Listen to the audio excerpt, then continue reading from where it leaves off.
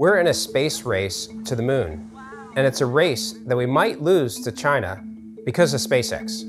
Elon Musk's company, SpaceX, said that they hope to have 25 launches with Starship in 2025.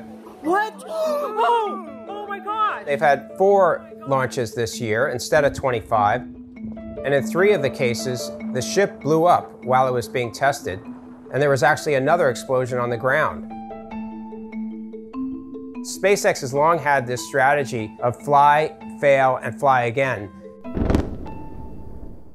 President Trump, during his first term, set a very explicit goal of having astronauts back on the moon by 2024, and that was what SpaceX Starships was hired to deliver. I think uh, it's not out of the question that it could be ready to fly, fly people in a couple of years. But that date has slipped from 24 to 26 to 27. But realistically, some at NASA are acknowledging it may not be until 2028.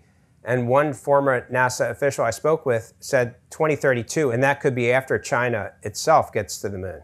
Starship includes the largest number of unproven technological advances. Meanwhile, China is using a much more standard, well proven approach. China's lunar lander looks a lot like the Apollo mission lunar lander that the United States used decades ago. It's a very short vehicle that has four legs that could land pretty simply on the surface of the moon.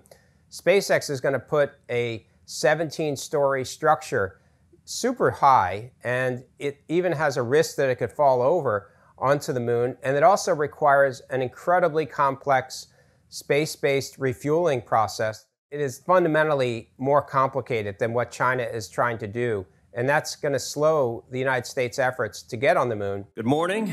There's been a lot of talk in recent weeks among former senior NASA officials about their concerns that the SpaceX Starship is way behind schedule.